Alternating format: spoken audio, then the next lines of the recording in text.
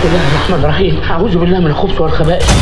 بعد حوارات ال Afrocentric وفيلم كليوباترا ومناكش الماسونية وحفله ترافيس سكوت. دي كانت معجنة. طلع علينا الصهاينة في الذكرى الخمسين لحرب أكتوبر بفيلم عن رئيس وزرائهم وقت الحرب جولدا مائير الفيلم بيتكلم عن عظمة وإنجازات البطلة المضحية جولدا مائير وقد إيه هي كانت بتحب شعبها وبتدافع عن حقهم مش أكتر. يا باي عليكي ما تخليش النار تعمي عينيك عن الحقيقة. ولذلك تعالى نتكلم عن جولدا اللي مش هتشوفها في الفيلم.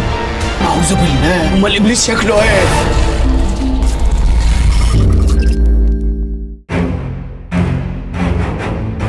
جولدا مائير من بطولة الممثلة الإنجليزية هيلين ميرن اللي كسبت أوسكار سنة 2006 الفيلم نزل على معظم المنصات واتعرض في مهرجانات عالمية زي مهرجان برلين في ألمانيا. يعني أنت متخيل في ألمانيا؟ ده هتلر لو وصلوا خبر بالكلام ده مش بعيد يطلع من تربته يسحب لهم واحدة على الرايخ. الصراحة ده مش أول فيلم يتعمل عن جولدا إسرائيل تقريبا أول ما بيلاقوا مفيش محتوى عندهم بينزلوا بفيلم الجولدا أمال لو كانت كسبت الحرب كنتوا عملتوا إيه؟ ده السادات عندنا عملنا له فيلم واحد لحد دلوقتي بنتفرج عليه. الفيلم بيتكلم عن ست قوية ومكافحة خدمت شعبها وصدت هجوم المصريين وكانت بتسمع كلام أبوها وجوزها ومندوب الشاح. جولدا زيها زي أي صهيوني. لا اتولدت في فلسطين ولا تعرف حاجة عن أرضها وجاية مستوطنة مش أكتر. اتولدت باسم جولدا مابوفيتز في أسرة فقيرة في مدينة كييف اللي كانت تحت حكم روسيا القيصرية في مايو سنة 1898 أبوها كان بيشتغل نجار وأمها مربية وعندها إخوات شينا وزبكة. وبسبب ظروفهم الصعبة وتعرضهم للعنصرية من الروس هاجرت جولدا مع عائلتها لأمريكا وعاشوا كلهم مع بعض في ولاية ويسكونسن الأمريكية. في سنة 1906 اتخرجت من كلية المعلمين واشتغلت في التدريس. وعشان أصلها اليهودي انضمت لمنظمة العمل الصهيونية في سنة 1915 وكانت من الأعضاء النشطين واللي آمنت بأفكار وطن اليهود وحقهم في أرض القدس. وفضلت في أمريكا لحد ما هاجرت لفلسطين وراحت كمستوطنة مع جوزها موريس مايرسون في سنة 1921 وكانت من ضمن عصابات المستوطنين اللي دعمتهم إنجلترا وأمريكا بعد وعد بيلفور بهدف سرقة أرض الفلسطينيين بقوة السلاح وارتكاب المذابح. وهناك اشتغلت في مناصب مختلفة لحد ما وصلت للكنيست الإسرائيلي ومسكت منصب وزير العمل من 1949 لحد 1956 ومنصب وزيرة الخارجية من 56 لسنة 66 وقدرت من خلاله تواجه العرب بأسلوبها الخبيث وتدليسها في الحقائق واشتهرت بدعمها لعصابة الهاجاناه اللي كانت بتقتل وتشرد في العرب. ولما مات جوزها سنة 51 قررت جولدا تغير اسمها من روسي لعبري فترجمت اسم جوزها اللي مات من مايرسون للترجمة العبرية ابن مائير وبقى اسمها الفعلي. الأوف بقى إن جولدا اللي خلدت اسم جوزها دي فضلت تخونه خمس سنين قبل ما يموت مع راجل لبناني من أصل فلسطيني واسمه ألبير فرعون وكانت اتعرفت عليه في حفلة للاحتفال بعيد ميلاد جورج الخامس ملك بريطانيا. ده غير إشاعات غير مؤكدة نشرتها مجلة المصور المصرية في عددها 4194 عن قصة غرامية بينها وبين أمير أردني في سنة 47 أثناء ما كانت بتعمل مفاوضات سرية. الست دي يعني ما شاء الله مالتي تاسكس في الخيانة. انت جايب لنا ميكروباص ولا إيه يابا؟ جولدا طول فترة منصبها حاولت تزيف الحقائق قدام العالم والأمم المتحدة عشان توجه الدول لدعم إسرائيل في التوسع والداري على مجازر الصهاينة وتهجير الفلسطينيين.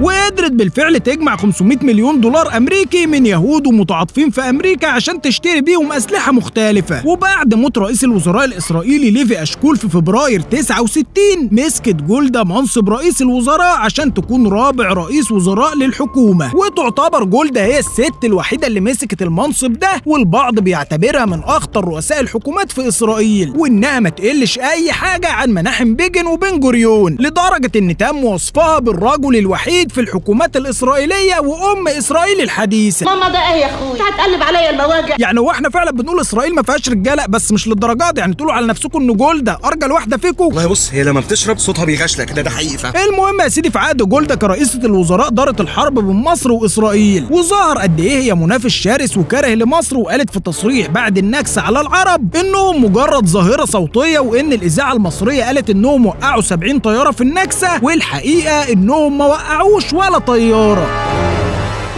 جولدا كانت خطاباتها جريئة وعدوانية. وفي واحدة من أقوالها المشهورة واللي العالم الحر المتقدم طبعا ده ما حسبهاش عليها هي إنها قالت كل صباح أتمنى أن أصحو فلا أجد طفلا فلسطينيا على قيد الحياة. يا ولية يا ليلة الأدب يا سافلة يا قاطية يا بيع منحطة يا اللي مش لاقي راجل يشكمك ضيف كده بقى إنها ما كانتش بتعرف تعمل حدود بين المسموح وغير المسموح بيه في حكومتها لدرجة إنها كانت ممكن تعمل اجتماعات مع الوزراء في مطبخ بيتها. لا يعني تسلم إيديها والله. كويس إنها لاقية وقت تعمل شغل البيت يعني كتر خيرها.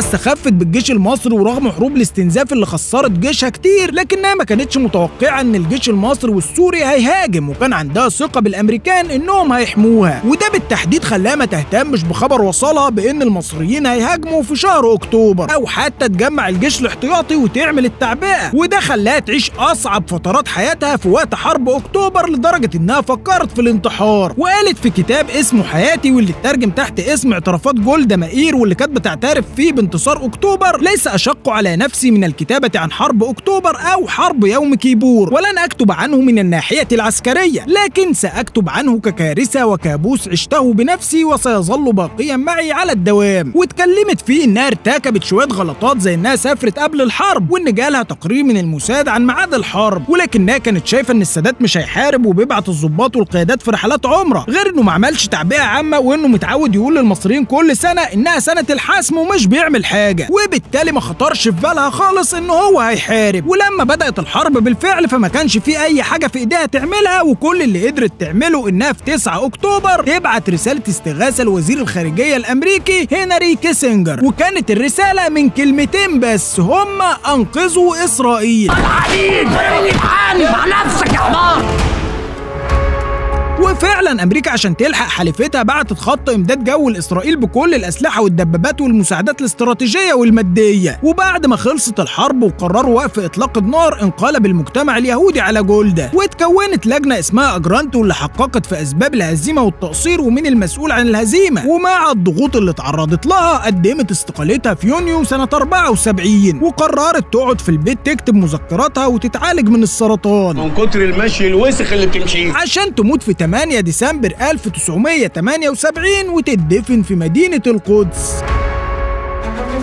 وبعيدا بقى عن حياة جولدا وجرائمها اللي ممكن كتير من الناس يكونوا مش عارفينها. الفن نفسه بقى من أهم الوسائل اللي بيستخدمها عدوك عشان يغير الحقيقة ويزيف الواقع. ولو يا سيدي ما قدرش يغير تفكيرك أنت كونك شخص مطلع وعندك خلفية عن الموضوع فممكن بسهولة يغير تفكير واحد ما شافش الأحداث دي ولا عاشها. أو حتى واحد تاني عايش في أي منطقة تانية في العالم. يعني من قريب شفنا فيلم أوبنهايمر واللي كتير من الناس اللي شافوه اتأثروا بمعاناة العالم الأمريكي. لدرجة إنهم اعتبروه شخص مظلوم ومضطهد من بلده ونسيوا انه شارك بإرادته في صنع سلاح دمار شامل هيدمر العالم في يوم من الأيام. وهو عارف كده. أنت متخلف؟ تحرق الفيلم كده عادي؟ محدش فكر في الأسر اليابانية اللي ابدوها والمدينة اللي اتدمرت وإن اليابان نفسها ما نسيتش اللي حصل. ورغم علاقتها بأمريكا حاليا منعت الفيلم من السينمات. الفيلم بيتعرض في كل العالم وبيحكوا الحدوتة من وجهة نظرهم اللي هيطلعوا فيها أبطال ومضحيين عشان خاطر شعبهم. والعرب هم الإرهابيين اللي قتلوا ولادهم وارتكبوا المجازر. وهنطلع إحنا بقى السيئين في رواية أحدهم. يلا يا بنت الكلب من هنا. هيجي واحد يقول لي بس دول اعترفوا بهزيمتهم في الفيلم. هقول لك يا عم الناصح إن مش هدف الفيلم يقول إن هم فازوا. الهدف إنهم يستعطفوك ويحسسوك بالمظلومية وإنهم بيدافعوا عن نفسهم مش أكتر. وده بالظبط اللي حصل فعلا لمعظم اللي شافوا الفيلم. فنتمنى يكون في رد على اللي بيحصل ده ومش بالتصاريح ولا بالشكل لازم يكون في أعمال تتكلم عن اللي حصل في الحقيقة. مش لازم دايما نتكلم عن بطولات. محتاجين العالم يعرف الجانب السيء ليهم زي هجوم الغدر يوم النكسة وقتل ودفن الجنود المصريين في مقابر جماعية.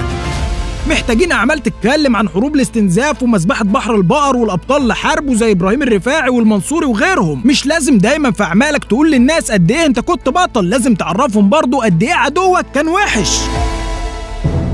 في النهاية الغدر والكذب وتغيير الحقيقة طبع مش هيتغير في الصهاينة. واللي يخليهم من زمان عايزين يسرقوا تاريخنا وحضارتنا وأرضنا مش صعب عليهم يخليهم يكذبوا. طب والأرض اللي هم مختلفين عليها دي زراعه ولا مباني؟ صدق ما جاش في دماغي. ممكن تبقى أبوه. فلازم تخليك واعي ومش أي حاجة تتفرج عليها تصدقها أنت هتعمل فيها مناضل؟ آه صحيح. قبل ما أنسى في واحد صهيوني حقير حقير حقير. تحداني إن أنت هتتفرج على الفيديو ده ومش هتعمل like ولا share ولا subscribe. فشوف بقى وأنت وضميرك. مؤثرين قوي الكلمتين اللي انت قلتهم في الآخر دول. أشوفك السنة الجاية.